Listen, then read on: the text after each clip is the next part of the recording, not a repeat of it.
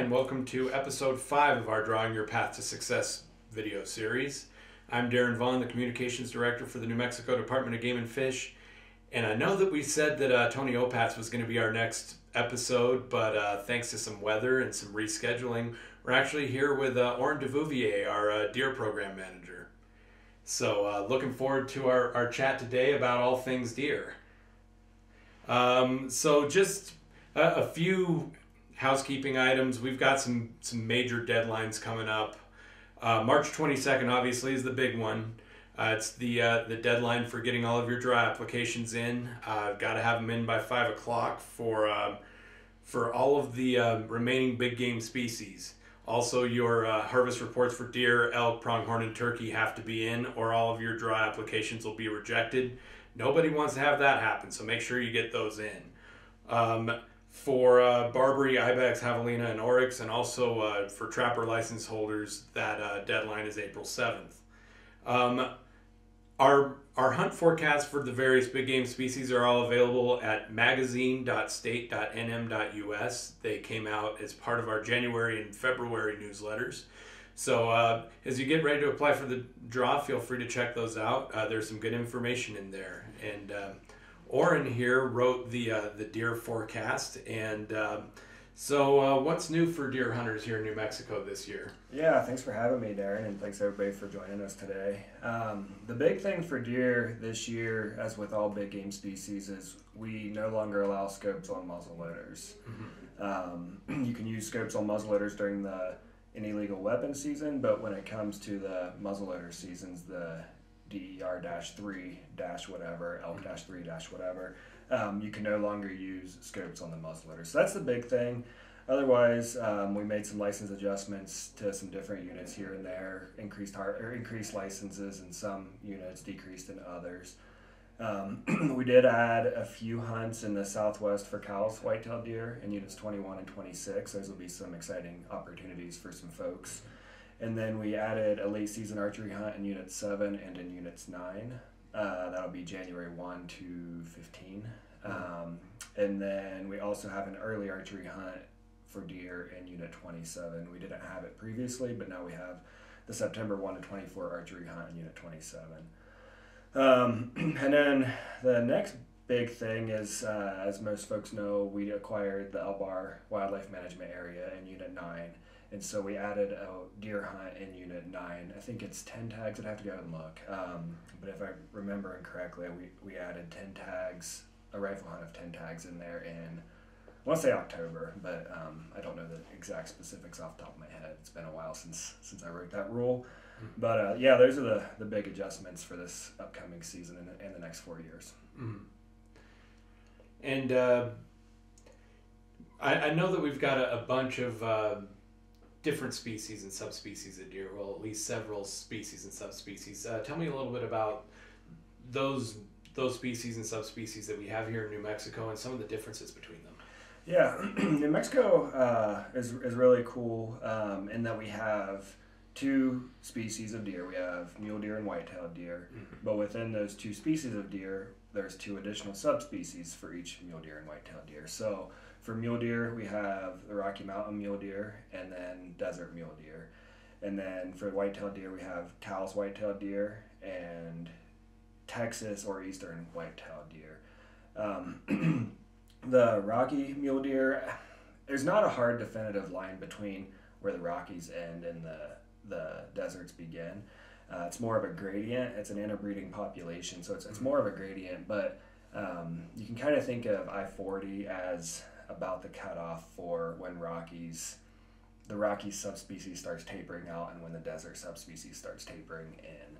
Mm. Um, so north of I 40 would be considered Rockies in general, south of I 40 would be deserts. Um, with the white-tailed deer, the Coues white-tailed deer, excuse me, the Coues white-tailed deer are found in the, the boot heel in the Gila area, so the southwest portion of the state. And then the eastern or Texas white-tailed deer are found along river bottoms and drainages on the east eastern half of the state. Mm-hmm. Um, there are some eastern white-tailed deer in the Sandias, and, and kind of there's been a few reports around Albuquerque and things like that, but. Mm-hmm.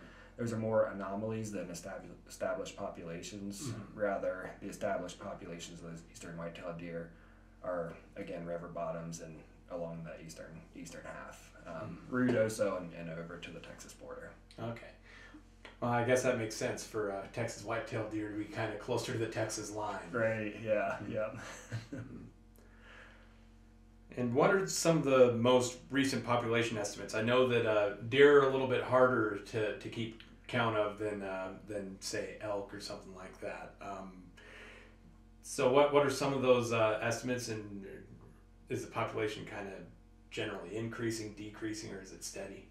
Sure, yeah, they, they are a little more difficult to, to survey than elk just uh, because their body size are smaller. They're a little more cryptic uh, Mhm. than elk.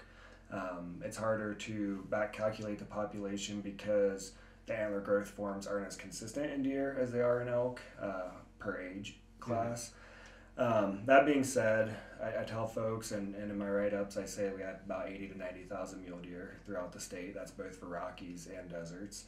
And then for the white-tailed deer, I say around 10,000. Excuse me, around 10,000 deer. Um, and that's both for the eastern or Texas subspecies and the Coues Mhm. subspecies. So um, you asked if they're if they're what the population trajectories are. Mhm. Um, in general, throughout throughout the state, it's stable, but I always put the caveat that there are local variations. So, for instance, the southwest portion of the state has been in a multi-year drought. Most of the state's been in a drought, as we all know. Mhm. The southwest part of the state has been in a multi-year drought that's even worse than, than other parts of the state. So, uh, the southwest deer populations are a little bit lower currently, um, but that's kind of offset when I say statewide population. That's offset because some of the northern populations are increasing. So, although some localized populations or population segments are lower in some areas, they're higher in others, which uh, balances out that fluctuation. Mhm. So as far as uh, like the moisture that we got during this most recent monsoon season, is it too soon to tell what kind of positive impact that may have had on the population? So it, it'll all depend on what this next monsoon season does. So for for deer, um, it takes about two years of, of appropriate and timely rainfalls to see a population rebound. Um, so so one year of increased rain that will improve neonate survival and fawn survival for that one year. Mhm. Um, but if those neonates and those fawn or those fawns don't survive to reproduce in the next year, and if they're off, if their fawns then don't survive, so so basically, if if the fawns this year don't survive till next year, Mhm. and then if they don't reproduce next year, then we won't see, or you know, the summer or whatever, we won't see an increase in the population. The reason is, um, in these arid, arid environments, deer, uh, mule deer specifically, they don't reproduce in their first year of life. Mhm. So in other states, the northern states, and things like that, you'll see um, young of the year fawns from this year or year and a half year old fawns reproducing uh, because they have much better nutrition and moisture and things like that. Mhm. Deer here don't typically reproduce till they're about two and a half years old. So it's a long-winded way of saying that you need two to three years of good rainfall in order to see the populations really change course and start to start to rebound. So if we don't get good rains this year, last year's rains will be kind of for naught. Ah, okay, that makes sense. And- what what are some of the primary factors that affect deer population here Mexico? Yeah, drought. Drought's the biggest thing. Um, again, that goes back to the reproductive effort and reproductive success of the does. Um, so if we don't have the rainfalls, we won't we won't see populations increase. So drought drought is, in my opinion, number one. Um, the second thing is long term habitat change. So everybody talks about the heyday of the 1960s, and that's throughout the West. They talk about it. The mule deer heyday was 1960 to 70. At that time, um, we weren't suppressing fire as much as we do now. There was a lot of logging on the landscape, so um, a lot of forests were being reset to earlier stages, which is important for deer, and same with the fire. And then also there was wide scale, landscape scale, and west wide scale um, predator eradic- eradication. And so um, all three of those things combined at that time to really boost the deer population. So now we we suppress fires a lot more readily than we had previously. We're much more effective at it. Not we, you and I, um, landscape man, uh, land managers and things like that are um, because we need to protect life and property, obviously. Um, and we don't have as wide scale of logging, and so all that equates to the habitat changing and the forests maturing to a state that isn't usable for deer or as usable for deer. So we really need those fires. Uh, we need early early successional stages of forests in order to see populations really benefit from that because really those early successional habitat types are what the deer need for their forage and hiding cover and things of that nature. So, um, kind of rambling, but the the long term habitat change is important um, and is, is one of the uh, I don't want to say threats because that's kind of doom and gloom, but one of the bigger issues impacting deer. Um, overuse of vegetation, be it from cattle and livestock, um, um, maybe elk here and there, but, but more so, in my opinion, would be cattle and livestock. Uh, the overuse of vegetation takes off the forage for the deer and the hiding cover for the deer, and so they just can't get as much to, to really rebound. Um, and, and then with habitat change, there's a lot of exotic invasive plants in the state. Um, junipers are not exotics, but they are invasive and they take away. Uh, they're not usable by deer, not as usable by deer. Um, cheatgrass is isn't as bad in New Mexico. It's really bad in other states, um, but in the northern part of the state, cheatgrass can impact the vegetation on the ground. That deer can't eat cheatgrass. It's an exotic invasive, um, so that that can impact what habitat and what, what plants are there for, for the deer. Um, and then predators, if, uh, if, if populations are low enough such that deer can't out reproduce the predation, mm. they can get in a predator pit. Um, and so, you know, they might throw fawns on the ground, but then the predators, predators, um, you know, eat them before they're able to, to mature and reproduce. And, and so that's where, in my opinion, you kind of need more rainfall because then they can throw more fawns on the ground and kind of the rainfall help those fawns survive and get over that predator pit. So, mm. um, very long-winded ways of, of, of, talking about the different things that impact deer populations in our state. Mm.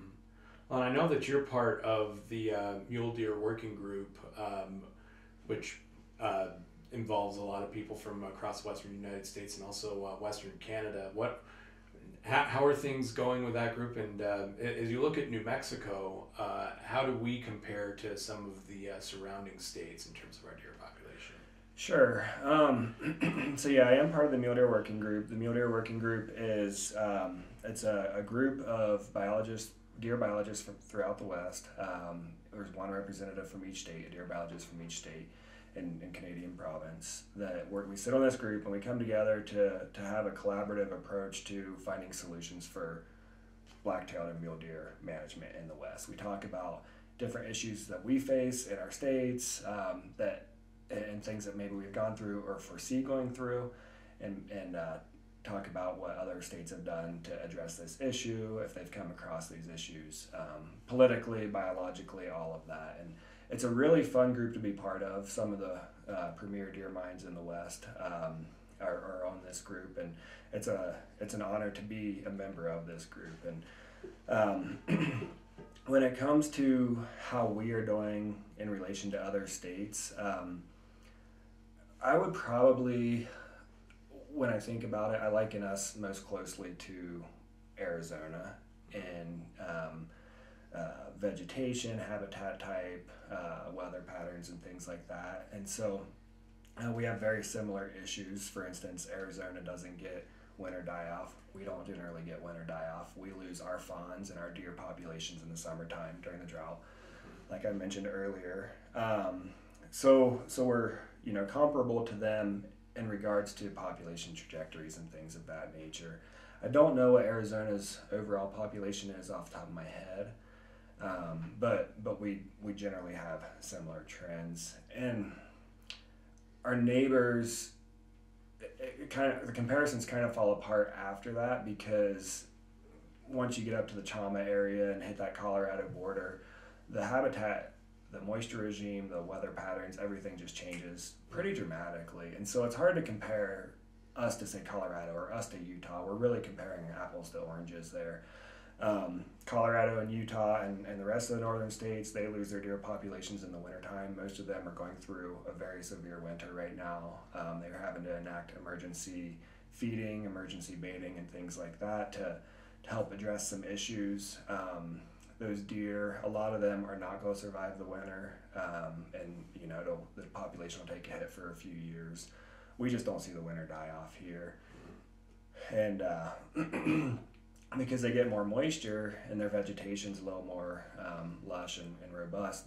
There's there's summer and spring, spring and summer. Um, they don't they don't lose the deer there. They they produce a lot of fawns, um, and it's just, it's just kind of hard to compare. For instance, uh, a comparison is when we survey deer populations. I know we'll talk about it here in a little bit. Uh, we want to see over 35 or 40 fawns per 100 does. And mm-hmm. to us, that's stable and growing.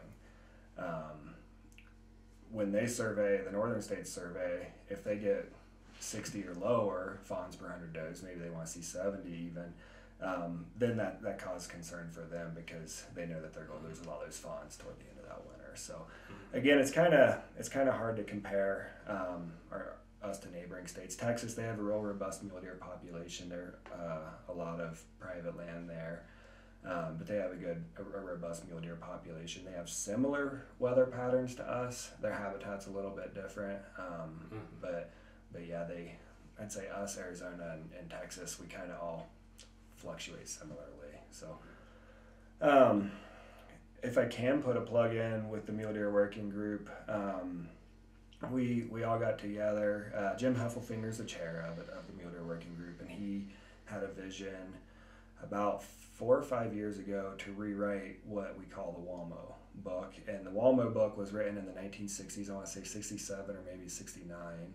And at that time, it was the premier book published published for anything mule and black-tailed deer related. Um, it might be the 70s. Either way, it's been a while. Um, and so Jim wanted to update that book because there's been 40 years of research that's occurred since then. And so um, I'm honored to be a part of this book. Over, over 80 authors, uh, 23 chapters. We wrote a book. Uh, it's entitled uh, Ecology and Management of Black-tailed and Mule Deer of North America.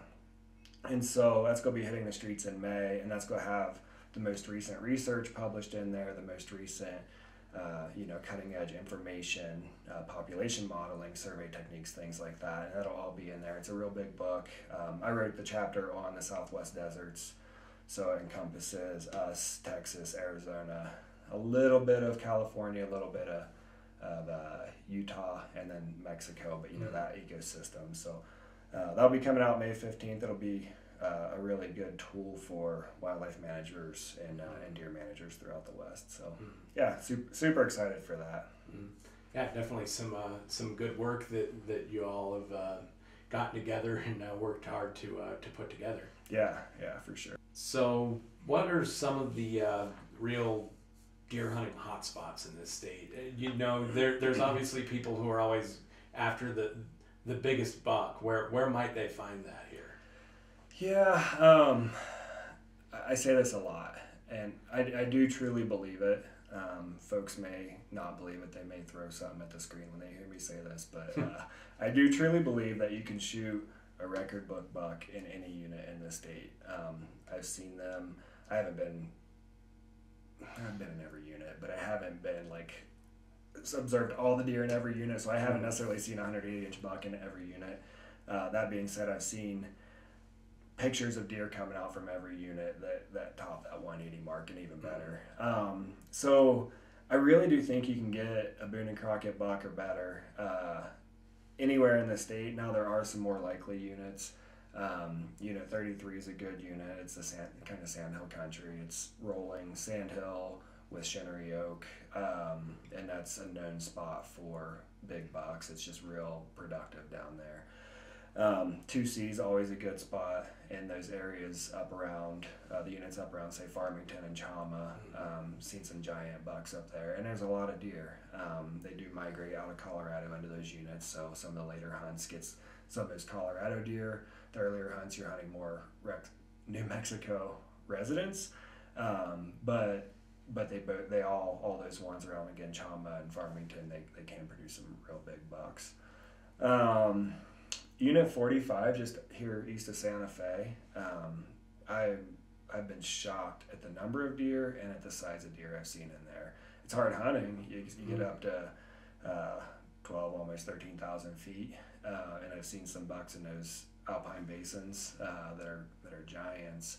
Um, and then you know so it's steep country and rugged and things like that but there are a lot of a lot of good deer in there when it comes to Coues deer unit 27 is a real good real good one known for some big bucks and mule deer. Um, the burros and just unit 23 in general for Coues, white-tailed deer.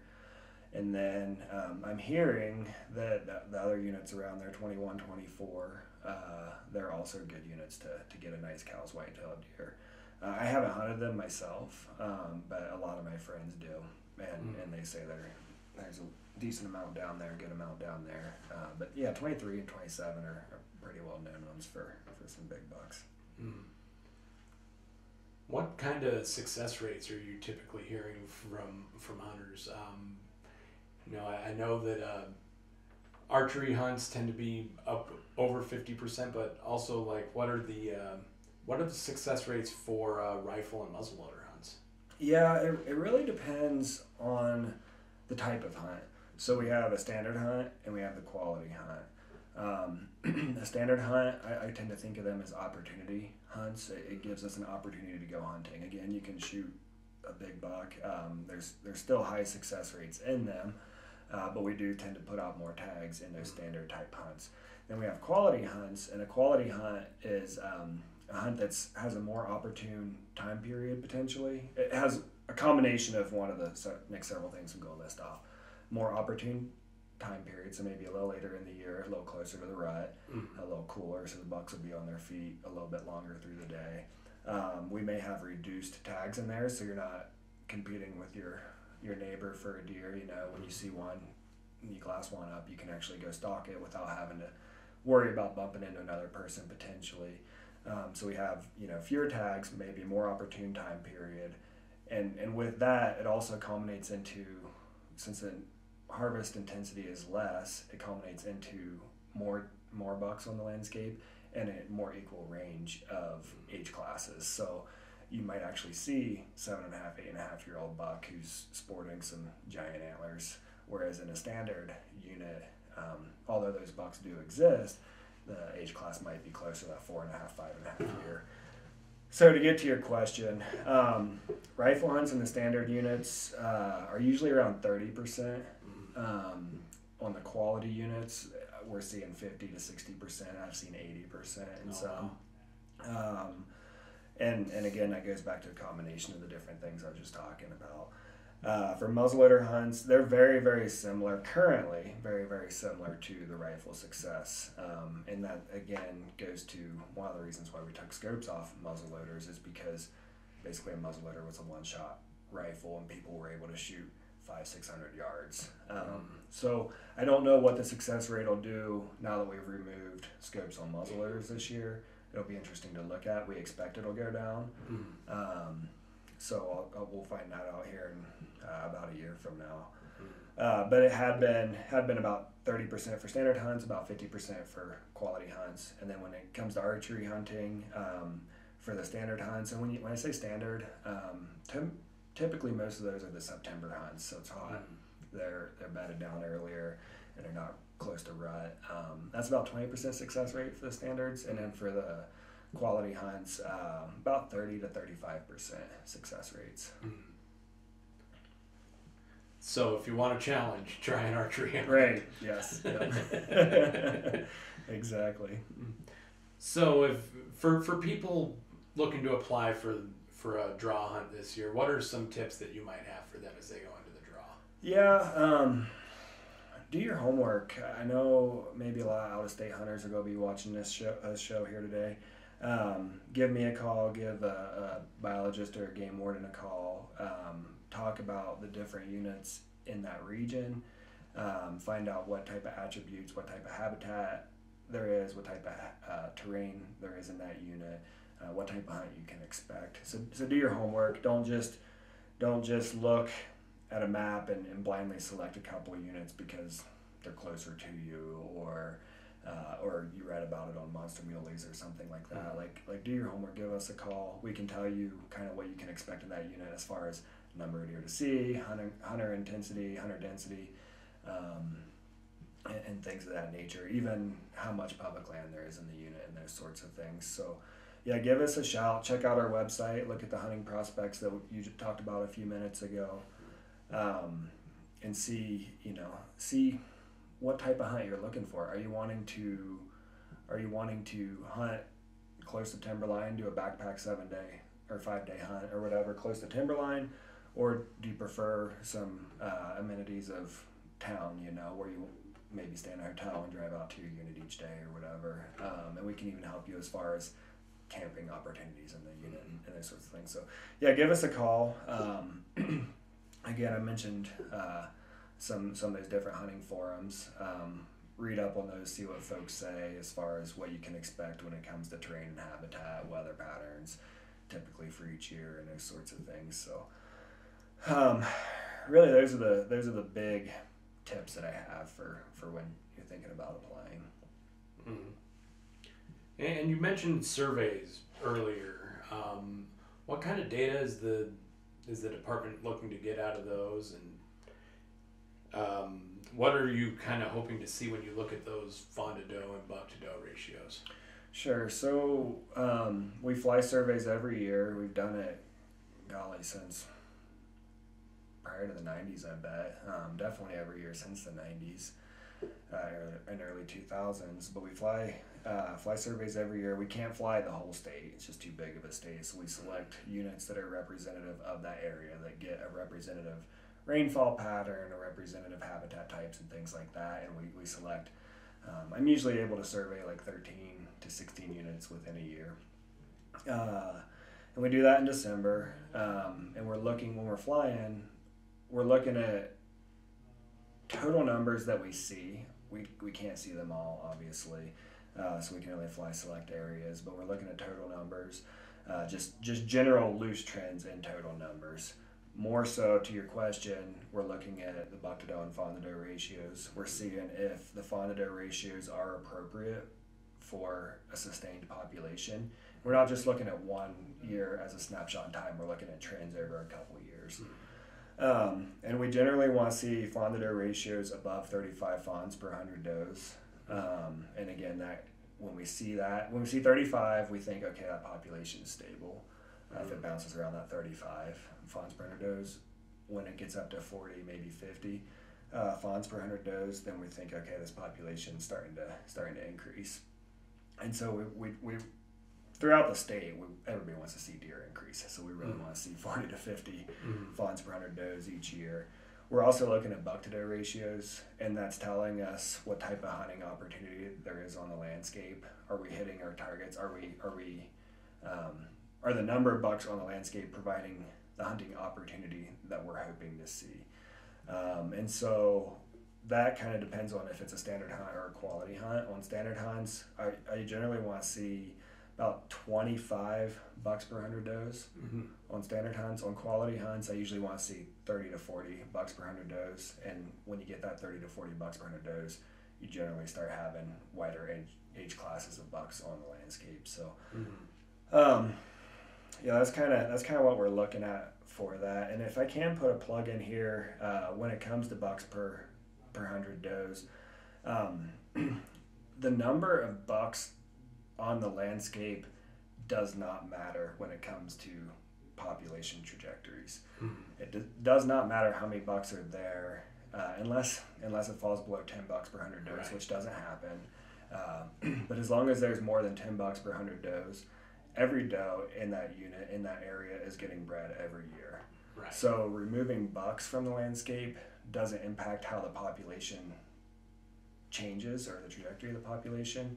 It it just impacts the hunting opportunities that are available. Right. So um, again, in my lifetime, I've never seen buck to doe populations really below 15 bucks per hundred does, and that was mm-hmm. up in Washington when I was up there. Um, in a general unit over the counter tags and stuff, and and it was just it was still a very very productive unit. Um, here, we're usually around, in the standard hunts, we're almost always above 20 bucks per 100 does. In the quality hunts, um, I mean, I have to go and look, but it's usually in that 35 bucks per 100 does. I've seen 50 bucks per 100 does, but um, it's usually around that 35 bucks per 100 does. Yeah, it's uh, obviously one buck can can breed multiple does, so the the buck numbers aren't aren't quite as important to the sustainability of the population. Exactly, 100% correct. Yep. Yeah. As far as migratory patterns, what are some of the more kind of intriguing migratory patterns that you see in in New Mexico?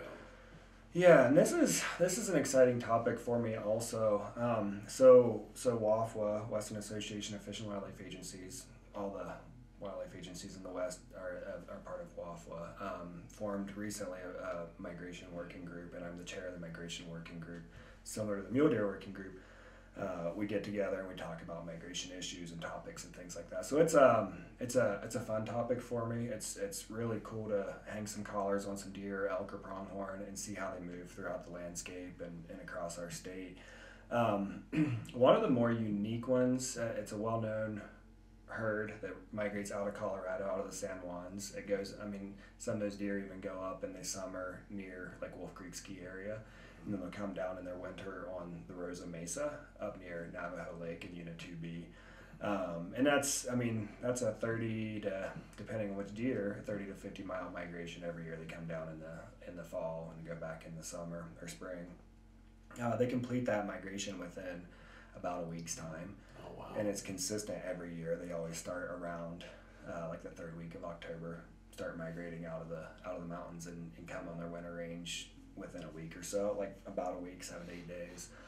Um, so a super long travel uh, um, over a short period of time, and then one thing that I think is super cool about deer, especially mule deer, is they have real strong fidelity to their migration routes. So the doe will migrate this every year, her fawn will migrate that every year that fawn's fawn will migrate every year. And so really like what this doe does really impacts what generations down the line do. And so they're just really consistent with that migration. I mean, they'll even walk the same trails. It's super, super cool in my opinion. So that Rosa one um, is, is one of the more well-known ones in the state. A lot of people talk about it. It's been researched for a while. Um, we also, back in 2021, was it 2021? Um, might have been 20, back in 2020, we started collaring some deer uh, around Chama on the Rio Chama Wildlife Management Area. And in 2021, we expanded it over to uh, around the Questa area, but we were specifically looking at migration routes. And the Rio Chama deer, they actually have two migration routes. They come and they winter on Rio Chama or just south of it, on private land just south of it. And a lot of them will go up north, they'll, they'll skirt Heron Lake and go up just west of Chama and then up into the San Juan Mountains in Colorado, and that's about a 20 mile, 25 mile migration. Um, and then from that same herd, that same wintering herd, some of these deer will go east up into say Unit 51 uh, and 52, and they'll they'll uh, summer up around the um, uh, uh Continental Divide mm-hmm. uh, just just east of the Rio Chama. And so the winter, the same spot, two different migration routes, and it's super cool with it with those two segments of that herd. They actually both segments migrate through the same like half mile, not not through the same half mile spot, but they both pinch down to like a half mile pinch point mm-hmm. uh, going up, one around Heron Lake, and then one going crossing ice or not uh, Highway 64 uh, heading east. But it, it's cool to see how they how they move, and um, some of those maps are now published. Actually, one is published in the uh, Ungulate Migrations of the West, and you can look at that. Just Google Ungulate Migrations of the West, and you can see that migration route. Can probably share it with you too if you want to okay. get going. um, that's a fun one. I really like those two herds, uh, just because of the distance that they cover within a year. And again, that that Rio Chama herd it, it completes that migration within a couple weeks or a week time uh, and then they go back about the same time every year. And then the rest of the state, um, not the rest, what we know about through through the rest of the state, uh, it's more of an elevational migration. Mm-hmm. So in the San Cristobals outside of Questa, Uh, they might summer, excuse me, outside of Questa, but then they'll migrate more on an elevational gradient and, and summer up in the high peaks of the San Cristobal's and then get pushed down as the snow pushes them down. And then it'll just kind of ping pong back and forth. Okay, the snow's a little too deep here for me to move at a reasonable pace to evade predators and get get what I need for energy and stuff. So I'm gonna go a little bit lower. Mm-hmm. Maybe that snow will melt. Maybe they'll go a little bit higher, and then they kind of like ping pong back and forth. Um, and then and then when the snow fully clears, then they'll go up again in summer in the high country. But that's a fun one. Um, and then most of the, a lot of the other mountain populations do similar. You know, the ones out here, um, and you know, 45, we don't have collars on them, but I expect them to do very similar, just kind of mm-hmm. go up and down based on snow level. Yeah, go up, go up a thousand feet when it's warmer, come down a thousand feet when when the snow gets too deep. Yeah, yeah, exactly. Yep, yep. It's it's super cool. I think it's it's real fun just seeing the collars. You know. Um, kind of pulling it up on a map and being like, oh shoot, these deer are here now, and a week and a half ago they were there, and you just it's kind of oh, it's just real interesting, real mm-hmm. fun to see what they do, and it helps guide our habitat management, helps us manage better, you know, uh, how many tags we might put in certain units and things mm-hmm. like that too. Yeah, this is how many deer that are going to be in this in this area at this time of year versus a month from now they're all going to be here. Yeah, exactly. Mm-hmm. Yep. Yeah, so super cool.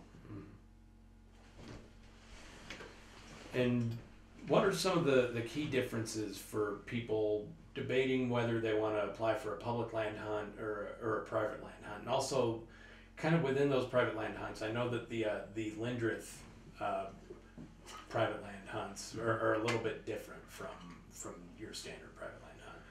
Yeah, um, my recommendation is unless you know a landowner that will let you hunt deer on his property or his or her property, go ahead and apply for the public hunts. The difference is um, a public hunt, public draw hunt is what's published in our rule book. Um, when you draw that tag, you can hunt anywhere in the unit that has publicly accessible public land or any private land with written permission. Um, and we, when we allocate those tags, I look at how much available public land there is in there, so we're not overcrowding hunters. Uh. So there is plenty of public land for those public draw hunters. Um, the private tags, we don't restrict the number of tags that go out on private land. Um, you can get them over the counter. You know, go to Walmart, come here to our office, and pick them up. Uh, the difference is with that private land tag, in order to be able to legally hunt it, you have to know somebody who's going to give you written permission to hunt their private deeded acres.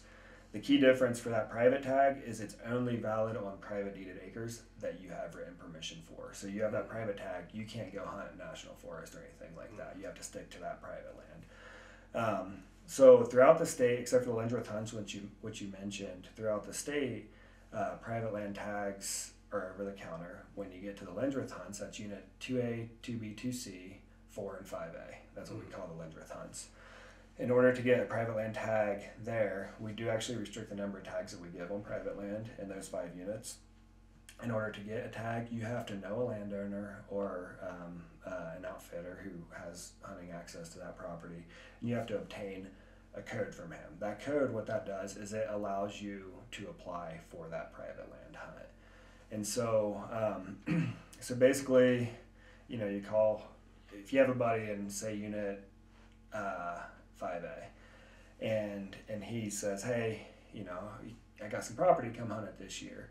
Well, you can't just go out and hunt it. You have to you have to get that code from him, which he obtains from us, and then you, you go in and you apply for that hunt. And so I want to say in Unit 5A, I want to say we get we have about 230 private land tags. Mm. And so you'd have to be one of the lucky hunters to draw one of those 230 tags to be able to hunt there. The reason we did that, um, shoot, that was before I got here. Uh, but the reason we did that was because there had been chronic poaching issues up in that area in those five units. Um, and and the landowners actually came to the department and said, "Hey, we want to start restricting who's on our property. We want to know. Mm-hmm. We want we want to know we want to have a little more control over who's actually coming out here and hunting because there are and there's still poaching issues, but um, it has curtailed it. But they want they said the poaching issues are too too great. We want to have a little more restriction, and so that's what that's what we did. I've been here seven years. It had already been here probably five years before I got here or something of that nature. Um, and so yeah, to, to hunt those Lindrith hunts, get a hunt code from from your landowner buddy, from your outfitter buddy who has hunting access there. So. So when you look at antlerless hunts, what what is the main purpose of, of those antlerless hunts? And also, it seems like those hunts are mainly uh, geared toward youth hunters. Yeah. So the main purpose of antlerless hunts is to address an issue, a localized issue with deer populations in that area. Um, a, generally, a, a deer human type conflict, whether it's Silver City hunts, where we have antlerless hunts that address an overpopulation, which results in deer vehicle collisions or eating, you know, um, ornamental shrubs and gardens and things like that. Um, and around the Roswell area, uh, it's more to address depredations on croplands and ag lands. Um, and so we give those antlerless tags, allocate antlerless tags in order to address that that overpopulation um, to help to help reduce it to a more manageable level. Um, in in the arid, and I'll get to your youth question in a second. In the arid New Mexico, um, antlerless harvest is really detrimental to to deer population growth, which is why we don't have antlerless hunts in other parts of the state, um, in areas that there aren't issues, uh, and, and why it's generally dedicated toward youths. And it's not just New Mexico, Arizona, Texas, things like that. Like because it is arid, because that reproductive success I talked about earlier, um, increasing even like a I read it here a five to ten percent increase in adult female mortality can cause your population to go really really low. It can reduce populations by like 15 20 percent just by just by increasing mortality 5 to 10 percent. So mm-hmm. um, we try to be real um, conservative on on doe harvest because we you know like i said earlier we want in most parts of the state deer populations to grow mm-hmm. the reason that it's mostly geared toward youths is just to provide an opportunity they're generally again like on and around ag fields um, a lot of a lot of uh, crop growers do allow those hunters onto their property, and so um, it might be shooting out of a blind or out of a stand a doe that's standing in an ag field that comes out. It's it's not.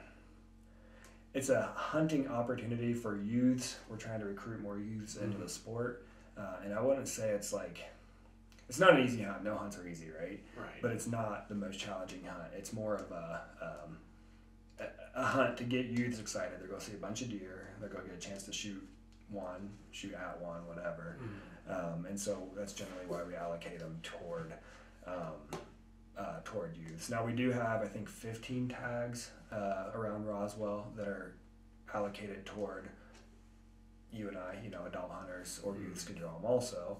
Um, and that's just another opportunity thing. But in general, we want we want them. They generally go toward youths in our state. Mm-hmm. And you mentioned trying to recruit youth hunters by by providing them that opportunity. Do you tend to see an increase among those hunters who have had that opportunity earlier in life to that, that they tend to, to bounce back and keep um, at least applying for the draw if, if nothing else? Yeah, no, I'm not the right one to, to answer that. Um, that's not really in my area of expertise. Um, anecdotally, I'd say 100%. Um, I hunt today. I'm an, I'm an avid hunter because I went out with my dad and my grandpa when I was a mm-hmm. young kid. Um, I may have, I, I think I started hunting with them when I was eight. I shot my first deer when I was 12. Um, that being said, I went out with them all, as much as I could. I'd get upset if I couldn't go out hunting with them. but it was because I was out there with them. They shot a deer or two, a turkey or two. Uh, we were, I was playing the game with them. I was interacting with the turkeys. I was uh, seeing a bunch of deer with them and those sorts of things. And that early experience definitely got me hooked. And then once I killed my first deer, um, and we all know what type of experience that can be. It's emotional. It's happy. It's sad. It's all the emotions above. Um, but when I got my first deer, and I you know went home and, and thought about it a little more and stuff, and it's like, man, I got I got I got to keep doing this. Right at twelve, it, it kind of kind of gave you the bug a little bit. It did, yeah, it did. And so Um, again, I'm not the right one. I don't study this field, but the folks who do study it say that that early introduction, early experience is paramount to having that lifelong enjoyment, lifelong involvement of whatever sport it might be, whatever activity it might be, hunting being the same thing. So when you look at New Mexico's uh, deer population, what are some of the, the primary concerns that you see disease wise? I, I know that obviously uh, chronic wasting disease is a, is a big one that uh, that everybody talks about. Yeah, that that in my opinion is the biggest. Um, CW chronic wasting disease or CWD is is always fatal. It's a neurological disease. Um, it impacts the prions in the, in the neurological system. Um, there is not a cure for it, so when a deer is infected with it, uh, they will die from it. That being said, um, it in our state currently we haven't seen population level impacts from it. Um, prevalence rates in areas where we know it exists currently is about three to five percent prevalence rates, which is super low. Uh, Wyoming and Colorado, in their their big areas, their prevalence rates are up. Um, golly, I, I think Andy told me just recently uh, about 50% in some areas, maybe 45 in oh, some of the big areas. So it, the prevalence rates is super high. Mm-hmm. Um, we don't have it to that degree here in New Mexico that we know of. We are trying to increase uh, monitoring and, and testing for it. We are trying to expand our sampling throughout the state. Currently, we only know about it in units 19, which is White Sands, uh, units 34 down around Ruidoso, and um, unit 29. I feel like there's one more that I'm not thinking of. No, I think it's those three units. Anyways, it's page 37 of the rule book. It, it says it. Mm-hmm. Um, but so far, it's been contained in that area. I don't want to say contained. It hasn't spread out of that area mm-hmm. that we know of. That being said, it's been detected within a couple miles of our border in Texas and in Colorado. Mm-hmm. And that Rosa herd that I talked about, um, it hasn't been detected in that herd, but one of the deer that comes in contact with that herd was positive for CWD a couple years ago. So conceivably, mm-hmm. it is in other parts of our state. We just haven't found it. That's why we're trying to increase our testing. Mm-hmm. Um, again, it, it, doesn't have currently population level impacts in our state, but it very well could. Um, the bucks carry it more readily, and the older bucks are more likely to to have to be infected with CWD. And so there are some management actions you can take to help address it, but we're not getting rid of it. Um, so so we're trying. We would currently, if we had a huge outbreak or an issue, we would currently just try to target harvest to help manage and help lower the prevalence rates. Mm-hmm. Um, again, that's a big one. Folks, uh, look at page 37 of the rule book this year. Uh, we want all samples that we can get from both deer and elk. Mm-hmm. Um, there are incentives for turning in your samples. You can get put into a, a, a supplementary draw for an elk tag in the Valle Vidal. Viavidal? Yeah. Or an Oryx tag. So just by mm-hmm just by shooting an animal and bringing it to an office so we can pull a sample, mm-hmm. you get another chance at a, at a really sweet hunt. So mm-hmm. uh, we want all samples that we can get and, and help increase our testing. Um, other diseases that that we have in New Mexico, uh, another big one is epizootic hemorrhagic disease (EHD). It presents similarly to blue tongue. In fact, a lot of people do call it blue tongue. Um, that can have population level impacts. It usually it usually comes on at the end of summer. Um, we had an outbreak of it in 2018 down in the southeast part of the state. There's nothing you can do about it. Nothing anybody can do about it. It's spread by uh, biting midges and, and, and uh, gnats that gather around water sources.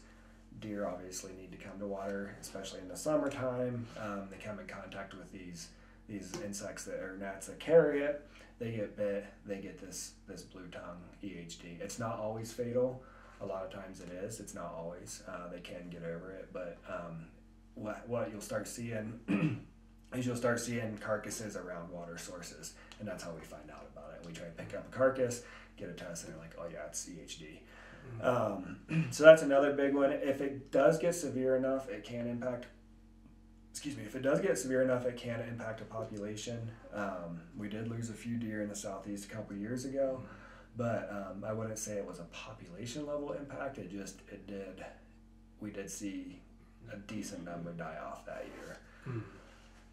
Just more kind of isolated cases than than you would typically see. Yeah, yeah, exactly. Yeah, yeah, you'll see it isolated, like you said, exactly. Um, in a you know a, an area here, maybe a ten square mile area here, but then you won't necessarily see it twenty miles that direction. Mm-hmm. Um, although it could be, it just it's more pocketed, like you're saying. Right. Um, so yeah, those are the two big ones, especially the ones that kill deer, uh, CWD and EHD. Um, we do. I get calls every year. Hey, I shot this deer. It has these disgusting maggots in its nose mm. uh, in its mouth. It is, it's very gross. You know what's going on with it? Is it safe to eat? Those are nasal botflies. It's actually um, it's actually probably in every deer you've ever shot. You just don't always see it because it's not always mm. uh, aren't always enough to, to detect it, but or for us to see it. Um, just by looking in the mouth. But it's it's a, a, natural thing. It doesn't hurt them. It might be a slight irritant. You might see them coughing or sneezing because it tickles. Mm. Um, mm. But it's it's a little a fly that it lays its eggs, I think, in the feces, uh, and in the deer as they're eating, you know, the forbs and grasses and or forbs and shrubs, um, they get those those eggs, ingest them or inhale them, mm-hmm. gets in the back of their throat, and they advance to the the larvae stage, which look, is those little maggot-looking things or little white white worms. Uh, they'll eventually develop back into the flies, and the cycle starts again it is gross. yeah. I've shot a deer or two that have them, and you kind of like, Ugh. but um, it, it, doesn't hurt them, doesn't hurt the meat. Uh, perfectly fine, perfectly safe and natural, and those sorts of things. So, and then the other thing I'll get periodically, and you might have seen it, other folks here might have seen it, is uh, cutaneous fibromas. Um, they look like warts on the mm-hmm. skin. Have you seen that before? Pictures mm-hmm. of it? Yeah, and it's just um, just like a wart. It can be really anywhere on the skin. Sometimes they're the eyes, mouth uh, anywhere else. It looks gross, um, doesn't hurt the meat, doesn't hurt the animal unless it gets to a place where it impacts their eating or detection of predators or those sorts of things. But mm-hmm. it's just a skin, uh, a skin, a skin wart um, that that doesn't get into the meat or anything. So that animal would be safe to harvest. It'd be safe to eat. It just would not take the best picture.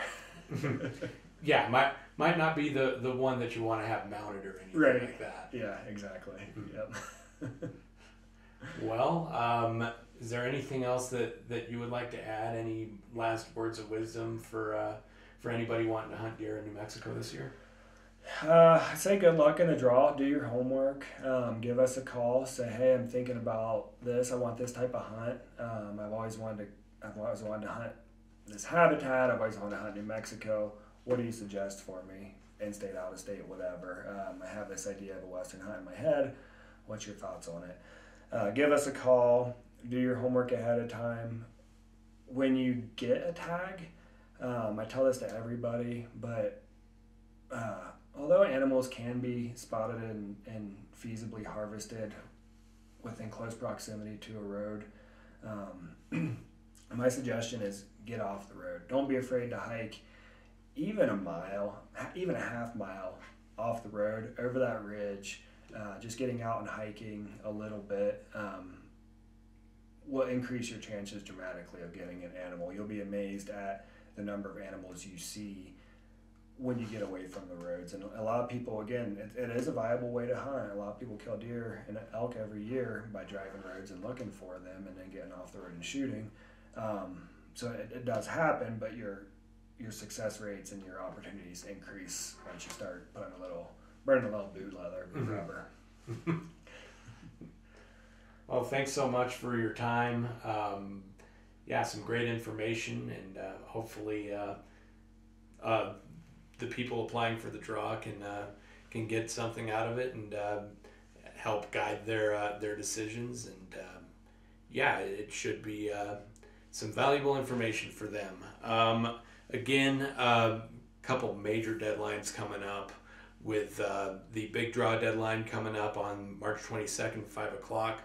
Um, I've mentioned it in other videos and I'll mention it again that it, if you're still in the system at 5 o'clock on March 22nd and you haven't completed your, uh, your application, the system's going to kick you out and your uh, draw application will not be accepted. Um, so give yourself plenty of time to complete that, that application uh, do your best to not wait until the last minute. Uh, also, that day is the deadline for all of the deer, elk, pronghorn, and turkey uh, harvest reports. Those are a, a requirement. Um, if you don't get those in, then your draw applications will be rejected. Um, and April 7th is the deadline for your harvest reports for Barbary, Ibex, Javelina, and Oryx. So make sure that you get those in. Um, other episodes in this series are available in our Drawing Your Path to Success playlist on YouTube.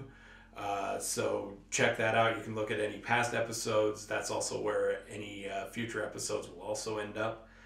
And our next episode, um, for those of you who are uh, looking forward to the pronghorn presentation, that's actually going to be coming out next week, March 10th. We'll be with uh, with Tony Opatz, our um, pronghorn biologist. So for uh, Orrin Duvuvuei and our cameraman Liam Phillips, I'm Darren Vaughan. Uh, good luck to you in the draw, and we'll see you next week.